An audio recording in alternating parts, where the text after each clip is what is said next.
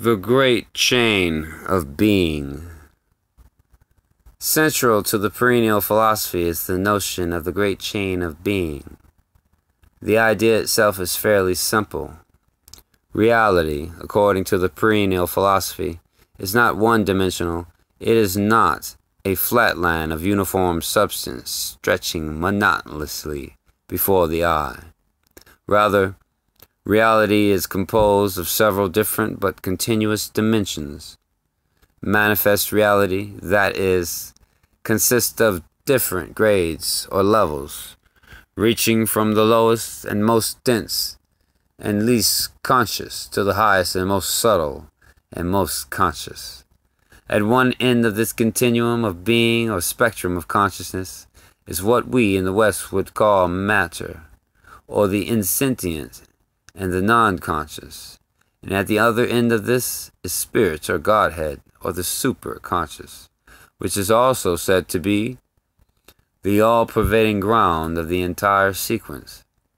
Arrayed in between are the other dimensions of being arranged according to their individual degrees of reality. Plato, actually, Aristotle, inclusiveness, Hegel, consciousness, Aurobindo, clarity, Leibniz, embrace, Plotinus, and knowingness. Garab Dorje. Sometimes the Great Chain is presented as having just three major levels matter, mind, and spirit. Other versions give five levels matter, body, mind, soul, and spirit.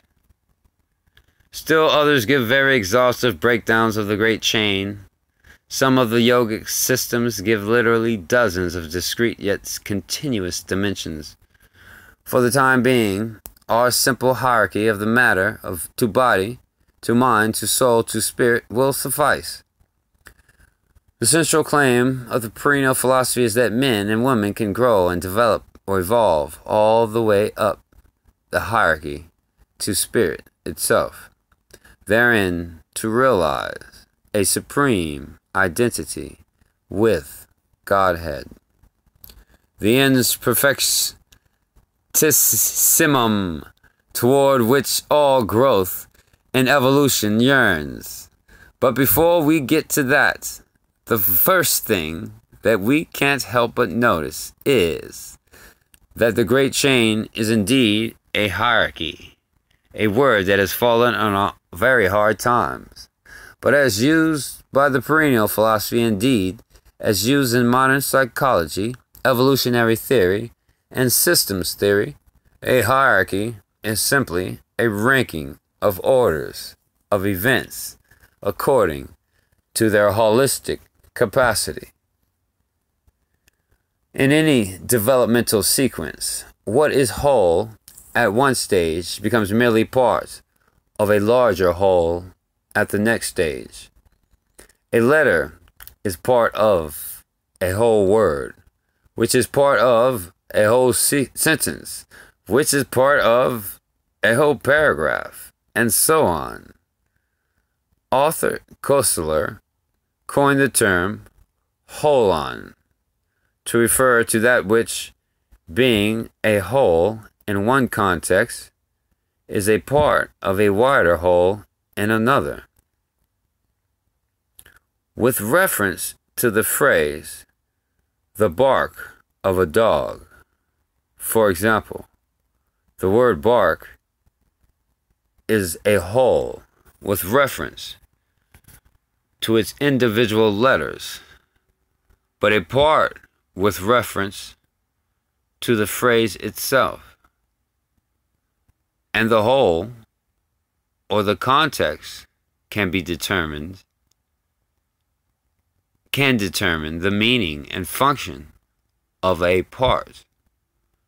The meaning of bark is different in the phrases the bark of a dog and the bark of a tree.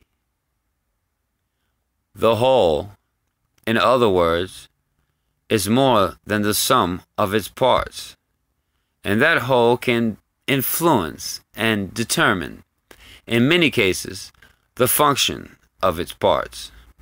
Hierarchy, then, is simply an order of increasing holons, representing an increase in wholeness and integrative capacity.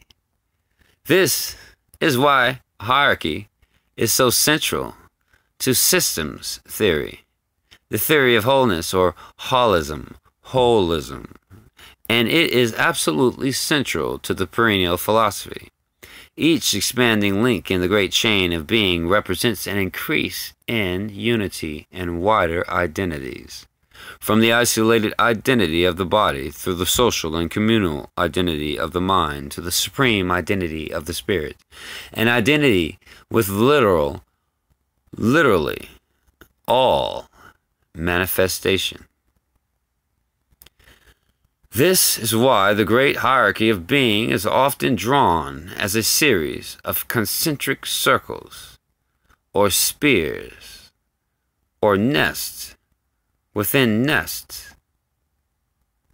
So the great chain is actually the great nest of being. And finally, hierarchy is asymmetrical or a hierarchy because the process does not occur in the reverse. For example, there are first letters, then words, then sentences, then paragraphs, but not vice versa. And that not vice versa constitutes an unavoidable hierarchy, or ranking, or symmetrical order of increasing wholeness. As I said, all of the world's great wisdom traditions are basically variations of the perennial philosophy, of the great hierarchy of being. In this wonderful book, Forgotten Truth, Huston Smith summarizes the world's major religions in one phrase a hierarchy of being and knowing.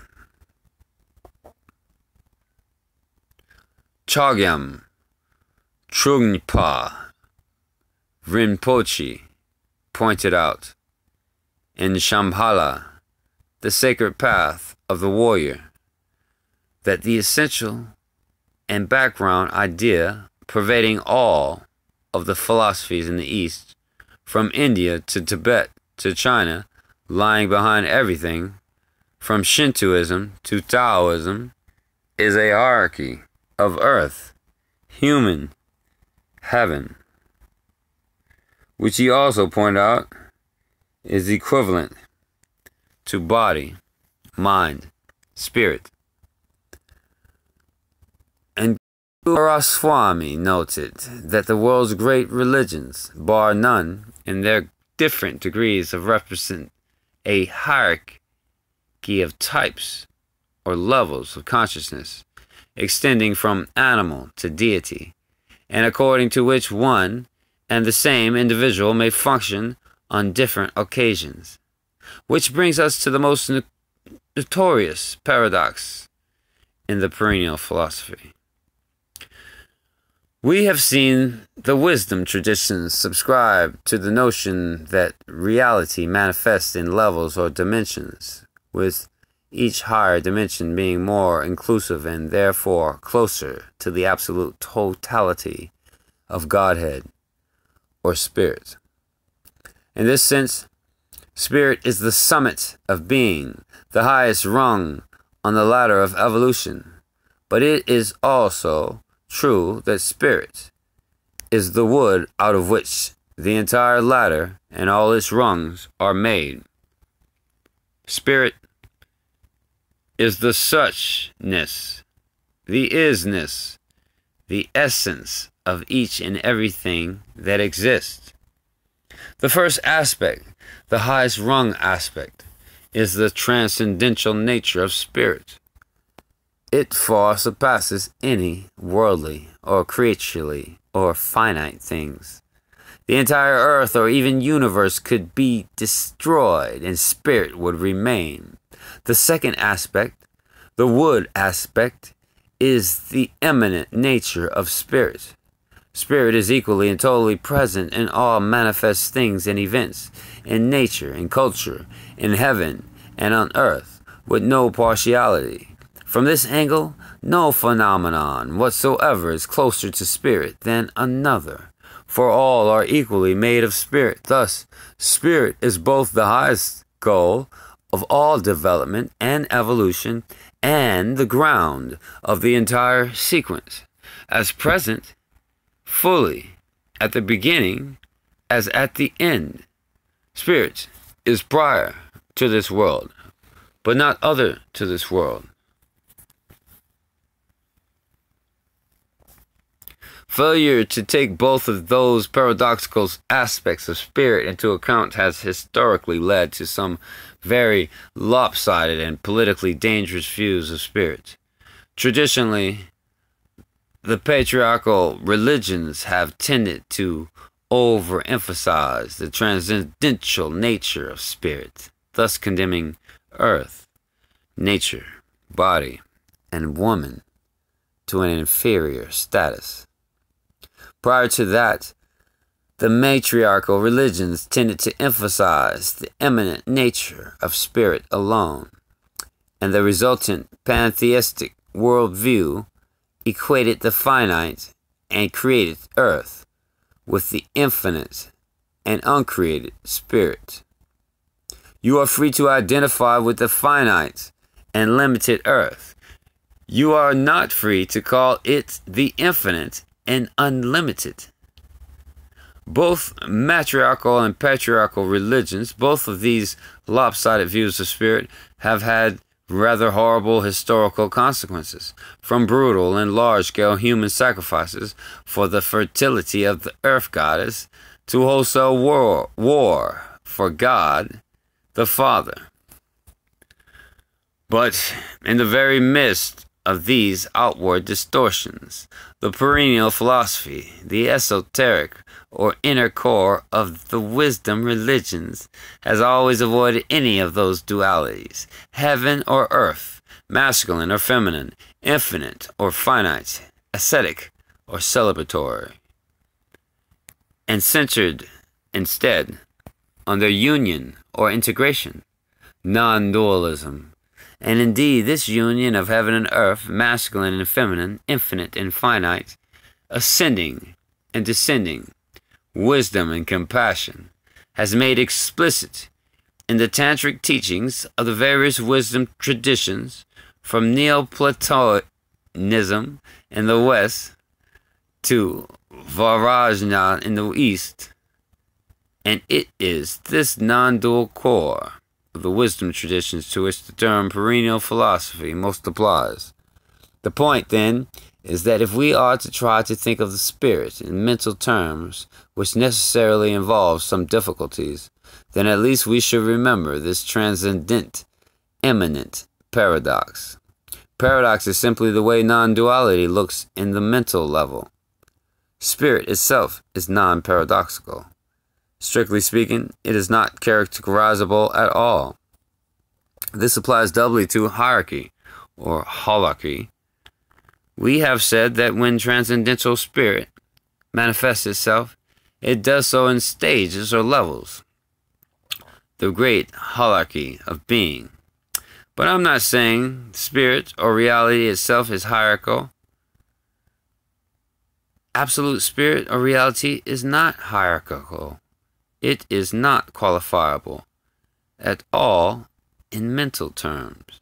Lower holon terms. It is shunyata, or nirguna, or apophatic, or unqualifiable, without a trace of specific and limiting characteristics at all. But it manifests itself in steps and layers and dimensions, sheaths, levels, or grades, whatever term one prefers, and that is holarchy. In Vedanta, these are the koshas, the sheaths or layers covering Brahman. In Buddhism, these are the eight Vijnanas, the eight levels of awareness. each of which is a stepped down or more restricted version of its senior dimension. In Kabbalah, these are the Sephirot, and so on. The whole point is that these are levels of the manifest world, of Maya. When Maya is not recognized as the play of the divine, then it is nothing but illusion. Hierarchy is illusion. There are several, there are levels of illusion, not levels of reality. But according to the traditions, it is exactly and only by understanding the hierarchical nature of samsara that we can in fact climb out of it. A ladder discarded only after having served its extraordinary purpose. Some postmodern critics have claimed that the very notion of the great chain, since its hierarchical, hierarchical is somehow oppressive. It is supposed to be based on unpleasant ranking instead of compassionate linking. But this is a rather unsophisticated complaint. First, the anti hierarchical and anti ranking critics are themselves engaged in hierarchical judgments of ranking. Namely, they claim their view is better than alternatives. In other words, they themselves have a very strong ranking system. It's just hidden and inarticulate and perfectly self contradictory. Second, the Great Chain was actually what Arthur Koestler called a holarchy, a series of concentric circles or nests, with each senior level transcending, but including its juniors. This is a ranking to be sure, but a ranking of increasing inclusiveness and embrace, with each senior level including more and more of the world and its inhabitants, so that the upper or spiritual reaches of the spectrum of consciousness are absolutely all inclusive and all embracing, a type of radical, universal pluralism.